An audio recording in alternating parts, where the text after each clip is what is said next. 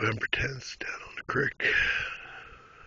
Mike Delaney's in front of me on the field.